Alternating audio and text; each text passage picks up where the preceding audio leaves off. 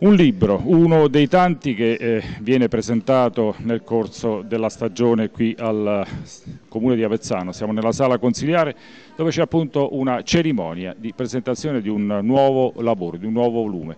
Il titolo, Un faro nella notte, già il titolo potrebbe eh, dire tanto.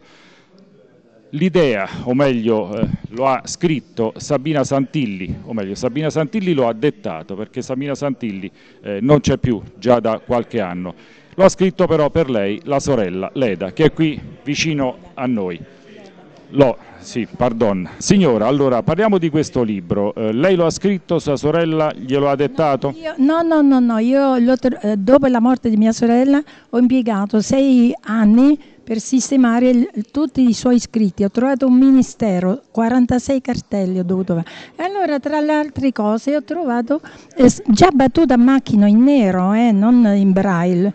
Eh, 25 capitoli ed è questa qua io l'ho rimessa in sesto, guardato eccetera l'ho ricopiato pari pari e l'ho, eh, l'ho, pubblicato. Di che cosa parla questo libro? Questo libro Sabina l'ha scritto per, perché voleva raccontare tutto ciò che aveva memorizzato quando ci vedeva. E infatti è, è simpatico proprio per questo, perché ti riporta al 1924 dopo il terremoto, perché lei è nata il 17 e il terremoto è stato il 15 e quindi lei con le, sue, con le sue compagnette girava eh, attorno al paese in mezzo alle macerie e, e poi nominava anche i nomi in dialetto, eh, la stalla di, di Pampanit, il primo mulino eh, ricostruito elettricamente, cioè, insomma, e ha voluto descrivere questo e c'è un frasario bello, certo il lessico suo, lei è autodidatta, eh? bisogna tener conto di questo, è un'autodidatta però eh, c'è un frasario meraviglioso, poi sereno, sempre riferimento alla luce, ehm, alla, diciamo, alla natura, alle cose belle della campagna. Del... Quelle che lei aveva visto però per troppo poco tempo. Eh, eh sì, perché all'età di sette anni con una meningite, perché lei era già dal Signore superdotata, perché alla, stava all'asilo, la maestra visto che sapeva tutto della prima elementare e l'ha mandata alla seconda elementare, pensi un po', quindi era già superdotata. E, ehm, è diventata poi, c'è che sordo questa meningite, però eh, certo la descrizione mh, mm, sua proprio lì per lì di, di come è rimasta non, non l'ha scritto mai la, la, sofferenza, però io l'ho dedotto poi da, dai, suoi, da, dai suoi scritti, da piccole cose, eh, perché lei rendeva tutto ordinario per, per se stessa, quindi ne, no, non faceva mai i, le lamentele perché a me, per, no, no, no, una forza, eh, una forza interiore che l'ha portata a fare una cosa così grande per i suoi eh, cieco sordi. Don Franco Tudini assistente spirituale del Movimento Cristiano Lavoratori un volume del genere, un, un, libro del genere, a chi può e deve essere rivolto e per che cosa secondo lei? Ma credo che debba essere rivolto a tutti in quanto eh, trattasi di un'iniziativa che riguarda eh, l'amore del prossimo, la concretizzazione dell'amore del prossimo, le opere di misericordia che eh, non sono soltanto evangeliche, ma appartengono alla solidarietà comune di tutte le persone, quindi interessarsi di coloro che sono portatori di qualche fragilità, di qualche handicap, e, e appartiene a tutta la società, a tutta l'umanità. Quindi la solidarietà ci rientra a pieno titolo e quindi coinvolge tutte le persone a qualsiasi ideale si ispirino o eh, impostino la loro esistenza. Oggi purtroppo la società Don Franco eh, va, eh, non va troppo per il sottile e spesso i eh, meno fortunati vengono abbandonati al loro destino. Bisognerebbe cambiare. Papa Francesco eh, in questo senso eh, sta indicando qualche strada. Beh certo, il Papa sta uh, riorientando un po' la società verso questi valori e la sta riorientando uh, soprattutto attraverso una testimonianza personale e ci sta dicendo a tutti che non i grandi discorsi, le grandi, teo le grandi teorie, ma soprattutto ecco, questa, questo coinvolgimento, questo lasciarsi eh, andare verso le persone. Ecco, in, mi interessa, mi importa che una persona si trovi in una situazione di difficoltà e io devo scendere da cavallo per poter avvicinarmi a questa persona che si trova in difficoltà. Naturalmente ognuno può dare quello che sa dare, quindi eh, non è che si pretende l'impossibile, però ognuno credo, ha detto il Papa, nessuno è tanto povero da non eh, offrire neanche un sorriso a una persona, quindi possiamo tutti fare qualcosa. Un altro Santilli per questa presentazione è Arnaldo Santilli, un nostro vecchio amico, possiamo dirlo, che è stato anche sindaco di San Benedetto ed è consigliere del Movimento Cristiano Lavoratori. Che cosa rappresenta eh, Arnaldo per San Benedetto Paese un uh, libro del genere? Beh, un libro del genere è fondamentale perché richiama alla mente e alla memoria della gente la figura di Sabina Santilli, zia Sabina, e quindi è, una, è un fatto importante per le nuove generazioni perché lei è stato un esempio per quell'opera che ha fatto che è la Lega del Filo d'Oro e poi per l'impegno che ha messo sempre verso gli altri, quindi una disponibilità un'altruista nata, diciamo così. E poi che cosa posso aggiungere? Sabina Sandilla è indimenticabile, per chi l'ha conosciuta sa che comunque è stata una grande. Non lo dico perché sono il pronipote, ma lo dico perché lo dicono tutti. Ecco, l'esempio che eh, ha, ha, dato Sabina, secondo te oggi viene seguito dalla eh, civiltà attuale e in che misura?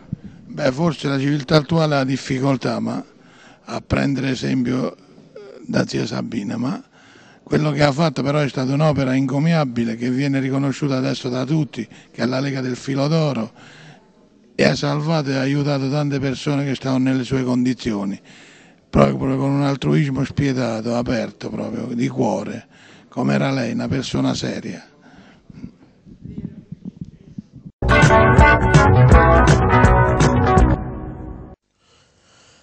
Una occasione per gli Stati membri del progetto di cui siamo capofila per raccogliere le sfide con cui siamo chiamati a confrontarci in materia di valutazione ambientale strategica in modo da rafforzare il progetto della macroregione Adriatico-Ionica. Lo ha detto l'assessore all'ambiente Mario Mazzocca intervenendo questa mattina all'International Meeting del progetto Speedy. Si tratta di un'iniziativa che rientra tra i progetti del programma IPA Adriatic che intende realizzare una piattaforma informatica condivisa per la corretta applicazione della direttiva europea sulla VAS, cioè la valutazione strategica ambientale, ma anche per individuare spunti di riflessione che potrebbero essere portati all'attenzione dell'Unione europea. All'incontro erano presenti, oltre all'assessore Mazzocca, Giovanni Savini, direttore del Dipartimento Affari della Presidenza e rapporti con l'Europa della Regione Abruzzo, Paolo Fusero, direttore del Dipartimento di Architettura dell'Università degli Studi d'Annunzio Chieti Pescara e i rappresentanti degli altri partner del progetto. L'obiettivo è quello di favorire la cooperazione transnazionale tra le pubbliche amministrazioni al fine di ravvicinare le legislazioni in materia di VAS dei paesi coinvolti. Questo obiettivo si può raggiungere attraverso lo sviluppo della piattaforma informatica già realizzata dalla FIRA che permetterà la condivisione delle conoscenze e delle informazioni soprattutto attraverso i forum in essa contenuti che permetteranno a tutti i beneficiari di affrontare i dibattiti sulle varie problematiche relative alla BAS. La Regione Abruzzo è capofila ed ha un finanziamento di circa 400 mila euro. È importante notare, ha proseguito l'assessore, che nel progetto sono coinvolte le tre regioni della Marca Adriatica, cioè Abruzzo, Molise e Marche, e quindi potrebbe essere utilizzato anche per rafforzare l'iniziativa della macro regione Adriatico-Ionica. Si è trattato infatti di un incontro scientifico e di pilotaggio per definire le restanti attività e per finalizzarle proprio ad una delle principali direttive programmatiche che la Regione si è data, ossia la creazione della macro regione, prevista la realizzazione di una piattaforma informatica in grado di coinvolgere e di condividere informazioni anche in tempo reale tra i partner coinvolti nel progetto. Ora l'intervista con l'assessore Mazzocca. Se ci puoi illustrare questa, questa iniziativa intanto. Sì, si parla tanto di macro regione adriatico-ionica e noi cominciamo per quello che ci compete a essere operativi, a essere concreti. E con uh, il progetto Spidi eh, abbiamo intanto cercato di codificare nel dettaglio eh, le procedure di valutazione ambientale strategica che devono essere eh, adottate in ambito del mare Adriatico, tant'è che i nostri partner oltre alla regione Marche e quella del Molise eh, ci sono anche i croati, ehm, la eh, Serbia, l'Albania e anche la Grecia, ovvero andare a verificare e toccare quindi con mano le varie progettazioni e i relativi impatti che possono avere sul, sul nostro mare in maniera uniforme, univoca, tant'è che eh, un modo di procedere che noi riteniamo essere pilota e vogliamo poi proporre all'intera comunità europea. Eh, come avviene materialmente attraverso una piattaforma informatica che ha realizzato Fila per eh, conto nostro nell'ambito del progetto e che domani presenteremo al convegno dell'Aquila. Come si inserisce questo nella lotta diciamo, alle trivelle in Adriatico? Beh, eh, credo che eh, si inserisce a pieno titolo perché eh, con eh, i nostri cugini di Oltre Adriatico cerchiamo appunto di elaborare una strategia che sia comune, che sia eh, condivisa soprattutto per quanto attiene qualità e quantità dell'impatto di ogni tipo di eh, previsione progettuale o di investimenti che noi, riusciamo, eh, che, noi diciamo che tutti quanti eh, vogliono prevedere sul nostro mare Adriatico. Un esempio è un progetto Unipatriatic che eh, la Regione Abruzzo ha, mh, si è visto finanziare e sta attuando da tempo, che, riguarda, che si chiama Powered e che riguarda la praticabilità di alcune iniziative sulle eoliche offshore. Quindi questo diciamo, è, rientra in tutto questo progetto e anche può essere tra virgolette un documento da dare ogni volta che viene proposta un qualcosa contro l'ambiente, questo è il succo del discorso? Beh, eh, contro l'ambiente a priori non lo possiamo dire, eh, sicuramente a tutela dell'ambiente, perché eh, salvaguardare eh, gli ecosistemi, i siti eh, di Natura 2000, le aree protette marine che, che esistono già eh, in maniera diffusa sul nostro Adriatico, credo sia per quanto ci riguarda un dovere, per quanto mi riguarda anche una opportunità di incidere in maniera positiva su un modello di sviluppo sostenibile che noi intendiamo dare alla nostra Regione.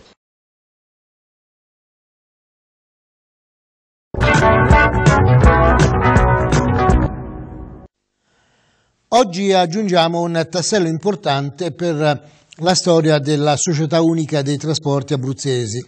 Con la firma del contratto di secondo livello con le organizzazioni sindacali regionali scriviamo un nuovo capitolo che conferma appieno che gli obiettivi prefissati sono stati raggiunti. Innanzitutto ci premeva la salvaguardia dei livelli occupazionali per 1600 persone e infatti nessuno rischierà il posto di lavoro. Non toccare o toccare al minimo la parte economica era il secondo obiettivo e poi l'aumento della produttività. A questo punto, da subito, saremo al lavoro per un ulteriore sviluppo del piano industriale. Lo ha detto il consigliere delegato ai trasporti Camillo D'Alessandro intervenendo all'incontro presso la sede della Regione Abruzzo tra Società Unica Abruzzese di Trasporto, la TUA, e le organizzazioni sindacali FILT CGL Fit Cisl, Will Trasporti, FAS Cisal e UGL Trasporti, alla presenza del Presidente del Consiglio di amministrazione di TUA, Luciano D'Amico, e di rappresentanti delle segreterie confederali CGL, Cisl, Will, Cisal e UGL. A margine dell'incontro si è proceduto alla firma del contratto. Per quanto riguarda la parte economica, aggiunto Alessandro, abbiamo stabilito un principio di equità chi percepisce di meno non dà nulla, chi guadagna di più contribuisce di più e così almeno il 50% dei lavoratori, cioè 800 su 1600, non saranno toccati. Per gli altri si tratterà di un sacrificio, ma da qualche euro fino a qualche decina di euro al mese, mentre per i redditi più alti il taglio massimo sarà di 100 euro mensili, ma riguarderà solo poche unità. Un buon risultato lo ha definito il presidente del Consiglio di amministrazione di Tua, Luciano D'Amico, che ha consentito di omogeneizzare i trattamenti economici dei dipendenti delle tre aziende e di creare una struttura da cui ripartire per la fase di rilancio e di sviluppo. Ci sono voluti diversi mesi per arrivare a questo accordo, credo però che sia un lavoro ben ripagato con il risultato finale. Sull'accordo le dichiarazioni del consigliere delegato ai trasporti Camillo D'Alessandro.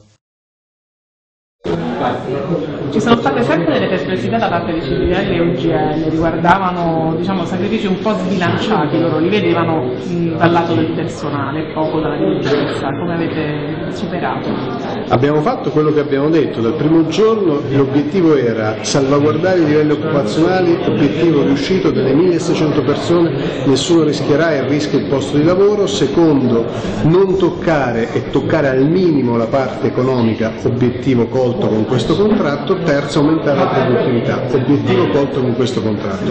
Oggi anche con i pensionamenti che ci saranno questa azienda da debito, problema, da libro in tribunale diventa una risorsa per la Regione Abruzzo. I famosi nastri lavorativi, li avete aggiustati? Abbiamo ottenuto l'accordo con i sindacati, quando dicevo che la, orientati alla produttività l'accordo è stato fatto perché c'erano modelli organizzativi di lavoro diversi, oggi noi li uniformiamo, tutti lavoreranno in modo uguale, tutti lavoreranno un po' di più per l'azienda. E per quanto riguarda invece il biglietto unico regionale, anche quello mi sembra ad alcuni non proprio grande. Ma guardi, prima non c'era, adesso oh, sta in due aree importanti in sede di sperimentazione, nell'area metropolitana e nell'area di Lanciano. Dopodiché eh, è un modello che noi dobbiamo estendere, si prevede anche degli investimenti perché non, non c'è solo la volontà, per realizzare il biglietto unico ci vogliono gli investimenti. Noi nel piano industriale l'abbiamo previsto, crediamo che entro questa legislatura noi riusciremo a garantire a tutti gli abruzzesi il titolo unico ferroviario.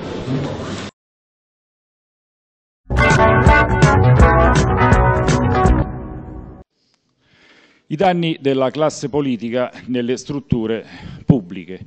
In Italia abbiamo migliaia di esempi, purtroppo. Eh, spesso eh, sono i politici a fare danni, gli amministratori, i tecnici delle società pubbliche eh, fanno i salti mortali per andare avanti, ma eh, si trovano spesso i bastoni tra le ruote e non possono agire in maniera diversa da quello che la politica consiglia, tra virgolette, o meglio impone. E un esempio purtroppo lo abbiamo anche qui nella Marsica. Siamo eh, nella sede del CAM con l'amministratore delegato, l'ingegner Giuseppe Venturini, per parlare di tante cose. E, eh, io vorrei proprio iniziare, ingegnere, con questa mia considerazione. La politica che spesso fa danni nelle strutture pubbliche e il CAM è una di quelle. Voi avete dei eh, professionisti, dei manager, dei tecnici preparati, però spesso la politica vi porta eh, fuori eh, fuori eh, percorso completamente. È d'accordo su questa mia affermazione? Diciamo che ci sono stati, ci saranno casi sicuramente dove la politica in qualche modo incide anche nella parte gestionale. Per quanto riguarda il CAM, che è una società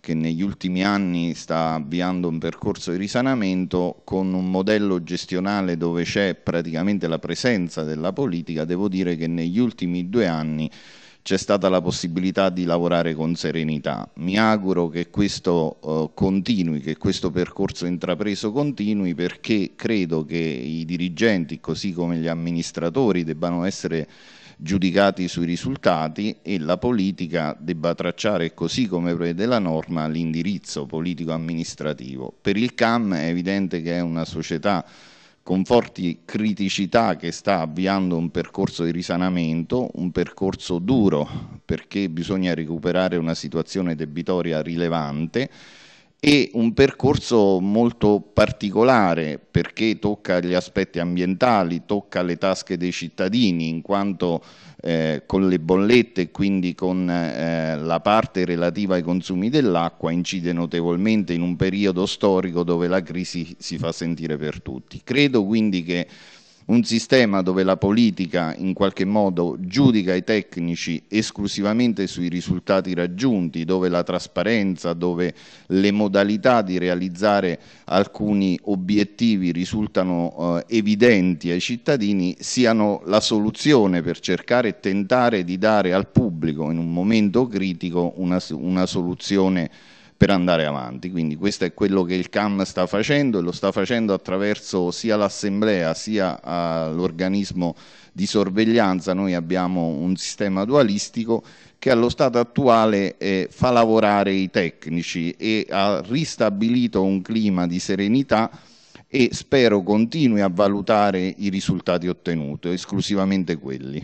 Ingegnere, eh, negli ultimi giorni sono arrivate nelle eh, cassette postali degli utenti, dei cittadini, eh, bollette eh, diverse dal solito, di importi più piccoli, ma diverse dal solito. Vuole spiegarci di cosa si tratta?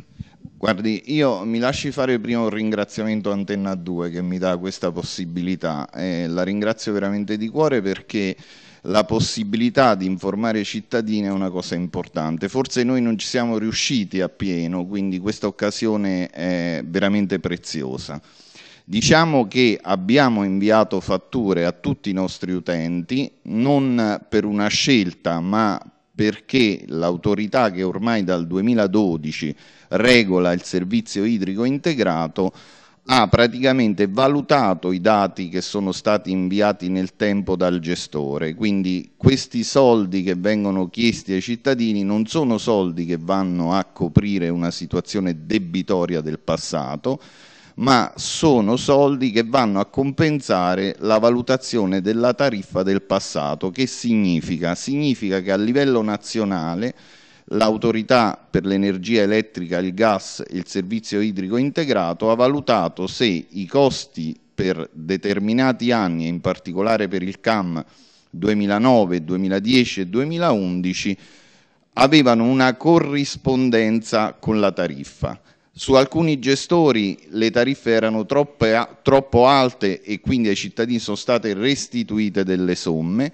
Per quanto riguarda il gestore vengono richieste delle somme ai cittadini e in media su un triennio peseranno 30 euro a utente. Ci rendiamo conto che questo, questa fatturazione rappresenta un ulteriore peso per i cittadini, ma rappresenta al tempo stesso un obbligo che è stato verificato puntualmente in maniera precisa sui dati trasmessi, che sono dati trasmessi in maniera oggettiva.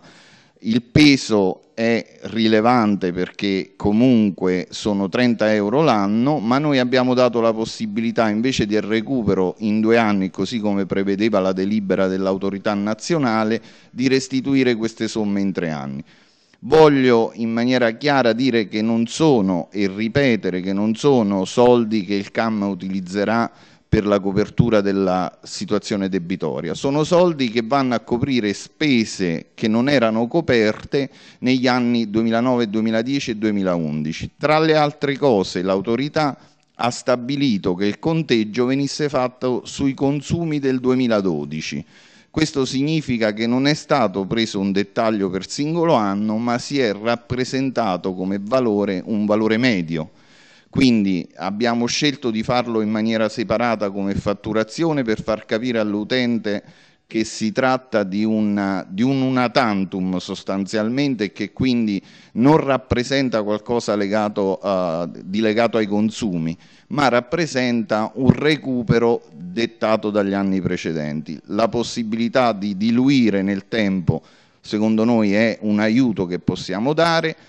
Credo che queste situazioni nel futuro non, non potranno più verificarsi perché attraverso il passaggio del, della gestione del sistema tariffario con l'autorità nazionale e con l'ATO che fa da organo intermediario tra autorità nazionale e gestore, la velocità del flusso informativo che deve essere trasparente anche controllato dalla Guardia di Finanza perché eh, su alcuni recuperi tariffari nel momento in cui il gestore impone dei dati scatta anche il controllo della Guardia di Finanza. Questo credo che in qualche modo vada nella direzione della trasparenza. È evidente che CAM in questo, in questo momento deve fare di più deve installare più misuratori, deve trovare il sommerso per ottenere una tariffa più equa, quindi nel momento in cui il numero degli utenti, dico una banalità, si incrementa è evidente che la tariffa tende a scendere.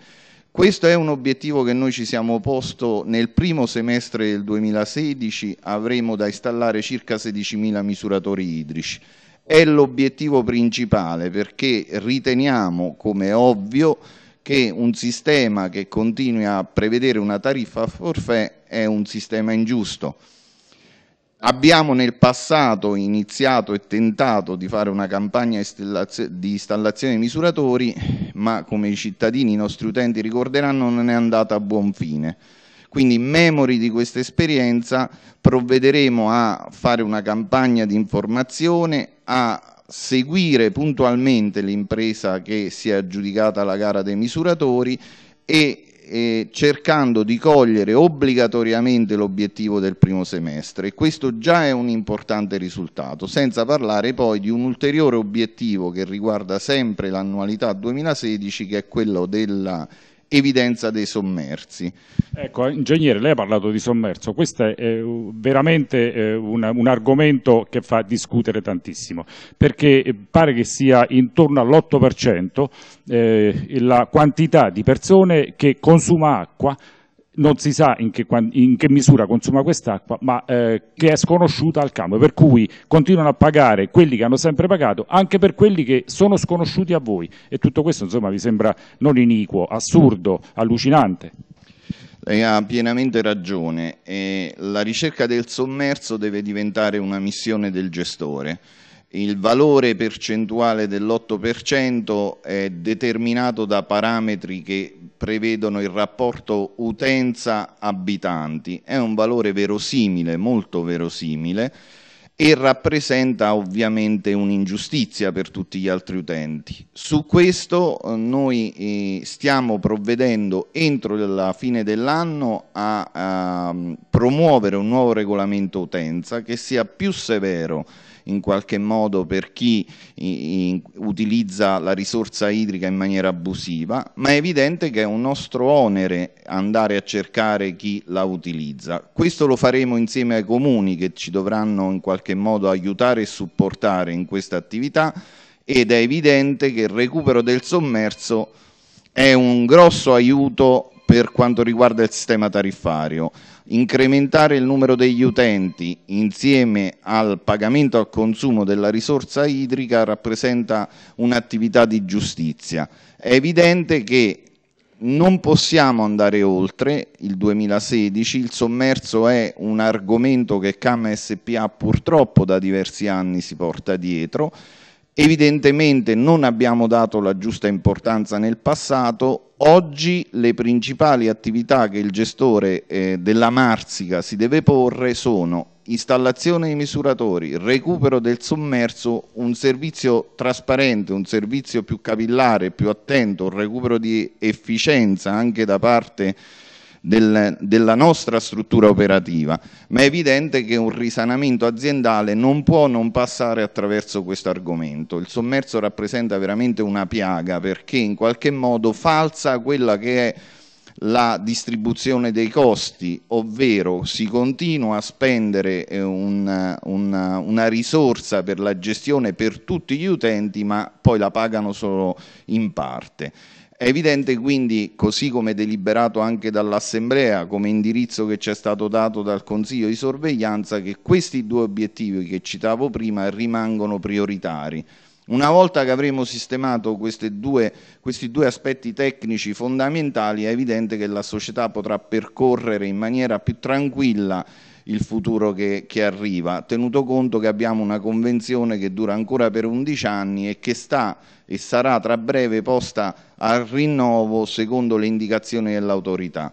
Quindi un sistema che oggi sul territorio nazionale sta cambiando da un punto di vista normativo, sta cambiando da un punto di vista anche dei sistemi di informazione. È evidente che la possibilità di dare all'utente tutte le informazioni anche in via telematica risulta importante e colgo l'occasione per dire che un primo passo, piccolo passo con la comunicazione della lettura attraverso il telefono rappresenta per noi un passo importante perché vengono comunicati i consumi reali. Su questo abbiamo recuperato da un punto di vista tecnologico una, uno spazio notevole, la possibilità quindi di dare sempre un pagamento in funzione del consumo effettivo. Delle volte le persone eh, o gli utenti sfugge per, per, colpa nostra, magari per una mancanza di informazione, che il sistema forfè è bilanciato su 141 metri cubi anno.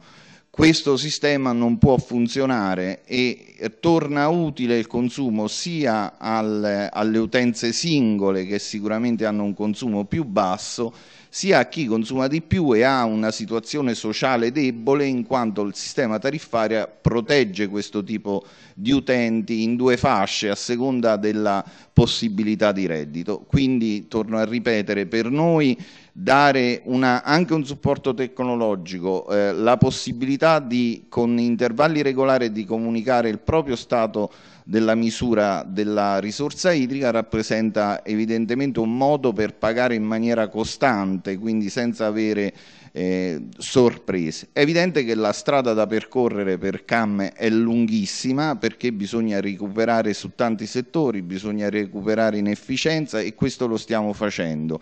Nell'ultimo consiglio di sorveglianza abbiamo portato una delibera che individua una nuova struttura organizzativa del CAM più snella, nella quale so, sopprimiamo sostanzialmente otto distretti territoriali e li portiamo a tre. Questo non significa che il CAM si allontana dal cittadino, ma cambia la modalità di gestione operativa sul territorio, in maniera da avere sempre dati sui costi di gestione puntuali e quotidiani e in maniera da avere contezza sostanzialmente della spesa della gestione. Questo è l'unico modo per, per avere poi una eh, bolletta più chiara, più semplice e forse una tariffa anche più bassa.